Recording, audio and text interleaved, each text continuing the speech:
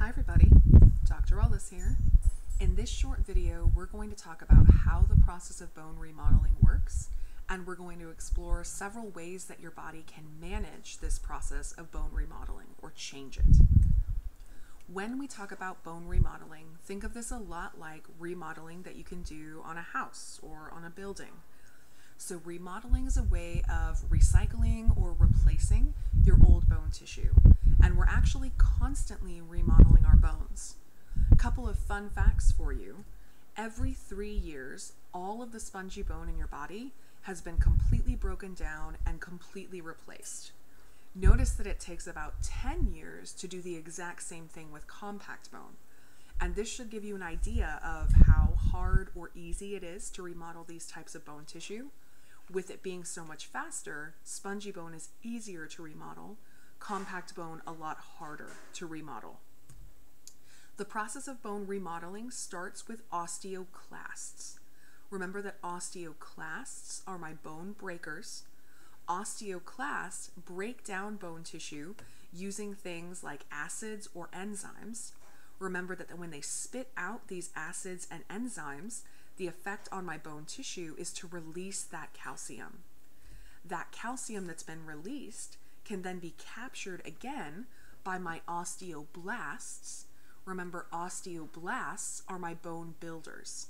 They spit out proteins like collagen to make bones strong, or those calcium binding proteins to catch the calcium from the bloodstream.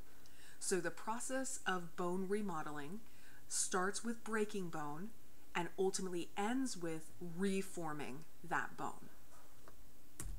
One of the ways that your body regulates this process of remodeling your bones is by using hormones. And when we talk about using hormones to regulate bone remodeling, it all comes down to your blood calcium levels. We're either going to break down bone tissue or build bone tissue depending on what's going on with the level of calcium in your blood. Now, notice that using hormones to regulate blood calcium is an example of what we call a negative feedback loop. When we talk about a negative feedback loop, what we're saying is if I have a stimulus, I have a change, I'm going to try to undo that change or do the opposite. So if my blood calcium gets too high, I'm going to try to drop it back down. If my blood calcium gets too low, I'm going to try to raise it. So, in a negative feedback loop, we try to do the opposite of what we're detecting to get us back to normal. One set of hormones that we use to regulate blood calcium are parathyroid hormone and calcitonin, which we'll talk about in a moment. For you, for parathyroid hormone, sometimes abbreviated PTH, parathyroid hormone, you need to know that this is released when my blood calcium levels are too low. There's not enough calcium in my bloodstream. The parathyroid glands detect this and they send out parathyroid hormone, PTH. Parathyroid hormone is made by the parathyroid glands, so that should be really easy for us to remember. And when we spit it out, one of the biggest uh, ways that it impacts our body is by increasing the activity of our osteoclasts. Remember that osteoclasts are my bone breakers. So as I activate those osteoclasts, they break down bone tissue, which releases calcium into the bloodstream. In A&P 2, you're also going to talk about how parathyroid hormone can influence the kidneys or influence the intestines allowing us to reabsorb more calcium from our food and drink. But for the sake of our discussion today, parathyroid hormone, spit out when I don't have enough calcium, causes my bone tissue to release some of the calcium that it had back into the bloodstream, getting my blood calcium back to normal. On the opposite end of the spectrum, if I have too much calcium in my bloodstream, I'm going to use the hormone calcitonin. Calcitonin is kind of the opposite of parathyroid hormone. Opposite number one is instead of being made by the parathyroid glands, the little spots, it's actually made by the thyroid gland, the big one. And parathyroid, or excuse me, calcitonin made by the thyroid gland has the opposite effect on my osteoclasts. Instead of telling my osteoclasts to work more quickly, calcitonin tells them to slow down.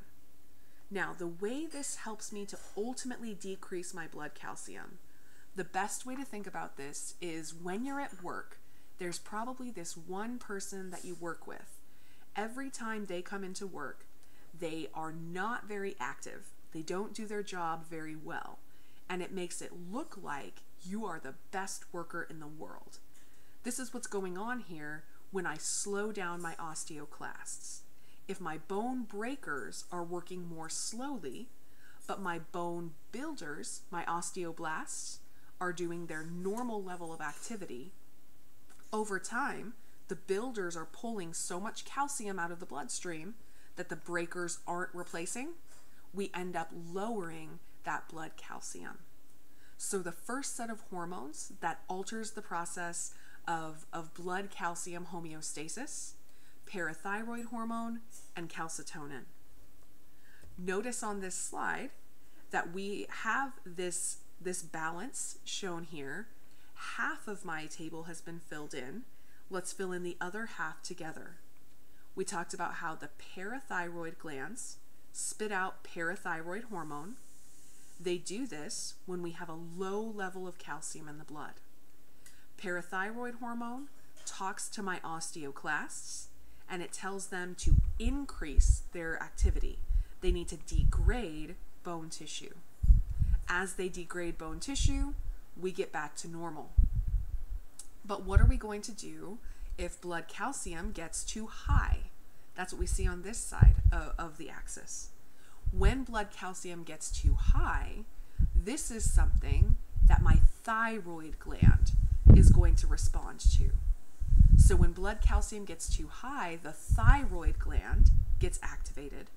And when the thyroid gland is activated, it spits out calcitonin. So the hormone released is calcitonin, released by the thyroid gland. The job of calcitonin is to slow down my osteoclasts.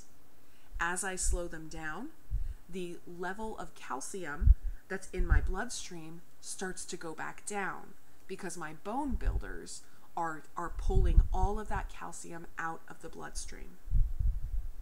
So, two different ways to look at the role of parathyroid hormone and calcitonin in the process of bone remodeling. Whether you like this image or this image better, doesn't matter. Just make sure we know which hormone is released by which gland and what does it do to blood calcium. The other kind of hormones that regulate the process of bone remodeling are growth hormone and the thyroid hormones. Growth hormone and thyroid hormone work together when you're building your bone tissue for the first time. So, growth hormone, unsurprisingly, helps your body to grow. As we release growth hormone, we pair its activities with the two thyroid hormones, T3 and T4, making sure that as your bones grow, they grow in the correct proportions. And in males, we also see an impact of the hormone testosterone on the process of growth. Testosterone uh, is going to enable this male growth spurt that we typically see around the time of puberty when testosterone starts to be made. So, growth hormone and thyroid hormones involved both in male and female growth. Testosterone, the reason why typically males tend to be a little bit taller than females. One last factor to mention that alters the process of bone remodeling, and this is what we call mechanical stress. All mechanical stress is, is putting pressure on your bone tissue. So, two of the big sources of pressure on your bone tissue are gravity, the fact that we live on Earth, as well as the movements that your body does. When our body is moving, or as gravity is pulling on, on our body, this leads to some specific changes in the structure of our bone tissue. So, there's this thing in science called Wolff's Law that helps us to understand the ways that our bones are remodeled in response to this strain. So, one of the things that Wolff's Laws predicts for us is that the thickest part of our long bones are in the very middle of the diaphysis, in the shaft of the bone.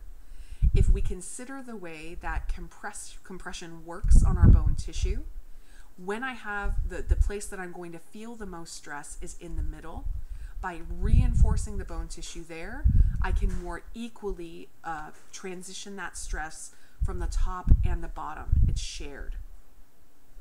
We also see that depending on whether you're right handed or left handed, that will, will dictate whether your radius and ulna are thicker on the left side or the right side. By putting more stress on those bones, by using them, it changes the thickness of your bones. We also see on our bones those bone markings that you learned for, for lecture and you're learning for lab. Those bone markings have developed because muscles attach to various places on the bones. So all of these large projections that I see here are projections that have developed over time through the evolution of our bone tissue to the kinds of stress that we're putting on it. I'll also mention that for some of those bones uh, that get a lot of stress, like the femur, the tibia, and the fibula, we're also going to curve them or strengthen them to prevent breaking in those places.